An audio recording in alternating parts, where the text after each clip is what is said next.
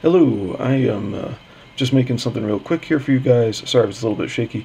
Uh, these guys are doing their countdown to end Xenotype, uh, the primary campaign, and I want to throw in a few words of encouragement on why I'm looking forward to the book. So uh, let's see, we got Scotsman here. He is the colorist. Uh, this is a friend of the family, I guess. I don't know this guy. And of course, that's Liam Gray, who's transmitting through his phone right now because literally his router in his house burst into flames.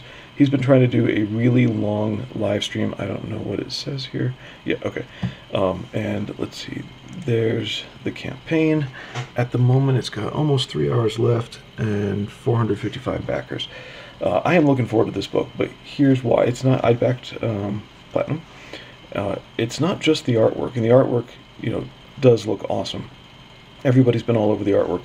I like how the artwork looks in the black and white. I think the gradations are really great. Um, but then, in the colored versions, I, I still like it. It's just different. It's a different animal. Let's fill that viewfinder a little more. There you go. Uh, one of the reasons I'm looking forward to it is the way Liam has described the story. Uh, it's blatantly it's a coming of age story. Those are very typical. Those are also typical in the manga world. Uh, look at there's this is intriguing what is going on with this character and to find out you know what he is. I can't wait to read it. Anyway, uh, coming of age stories they aren't the world and the archetype in them is something I really have to learn more from Professor Geek to to uh, you know I'm, I'm waiting for Professor Geek's book on archetypes because I just don't know enough and it's not that I gave up his channel, but with so many channels, um, I started watching less of it. So I, I, every so often I go on a break from everything else and I just catch up on one channel. And so his is his is in the queue, and I'm gonna have to skip a bunch of his videos and just do the archetypes. Uh, but back to Xenotype, the way it's been described really reminds me of something I learned early on, like in high school, about literature. That literature is supposed to touch on uh, what it means to be human. And uh, so here we go. Now pay attention to this panel because we're about to get into the colored. So check that out, comparison. With what it, uh, let me turn off, there we go, lens flare, my lamp. Uh, with what it means to be human, one of the things I like in good literature that doesn't have the, the propaganda attached to it to push certain agenda, it just focuses on things that we can relate to, not because of those propaganda reasons, but because we all emotionally go through certain you know certain things, but we don't get to go through emotionally everything.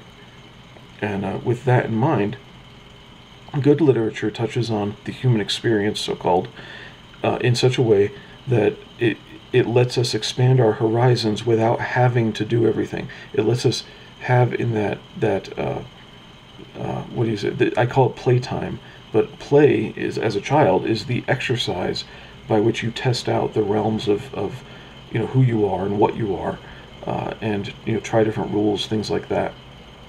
So at least for boys, so uh, good literature lets you grow from others other people's experience, even though you're not necessarily consciously reevaluating your own experience in light of, of a book you've read. Just look at that art.